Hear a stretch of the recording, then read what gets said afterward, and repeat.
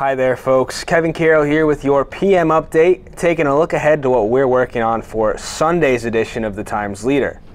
This month marks the 15th anniversary of casino gaming at Mohegan Sun Pocono, and Roger DuPuis has a look back at the facility's origins as well as events planned for Sunday to mark the occasion. A 5K race held on Saturday in Tunkhannock provided a chance for military families to gather to raise money for veterans and those currently serving their country. Jerry Gibbons will have that story for you.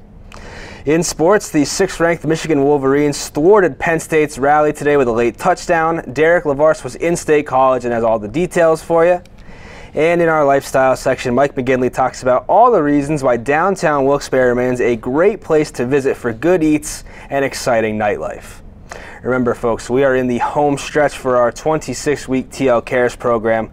Our last weekly winner was named on Friday, but you still have time to enter for the final $25,000 grand prize to be awarded later this month.